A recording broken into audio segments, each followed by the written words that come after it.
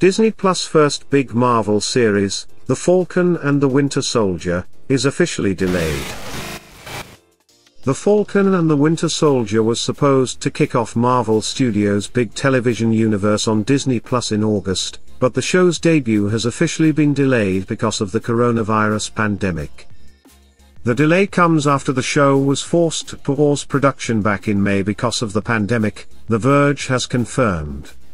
Disney does not have a new premiere date for the show, but it's hoping to share updates on it soon.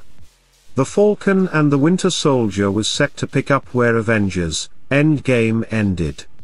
Steve Rogers' Captain America seems to have essentially retired after living a different life in an alternate timeline, and Sam Wilson, Anthony Mackie, picks up the shield in his place. While fans were anticipating delays, not having a new Marvel show on the horizon is a blow. Two other big Marvel Studios productions, Black Widow and The Eternals, have also had their theatrical releases delayed. Black Widow moved from May 1st to November 6th, while The Eternals shifted from November 6th to February 12, 2021.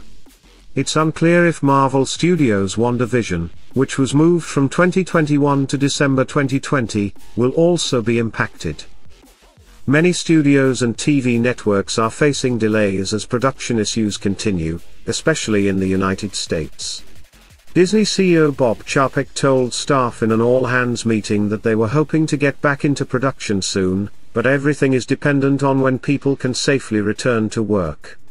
Disney Plus other big show this year, The Mandalorian's second season, is still on track to hit its October premiere date, Chapek announced earlier in the year. Okay, if you like this video, don't forget to click like button. See you in the next video.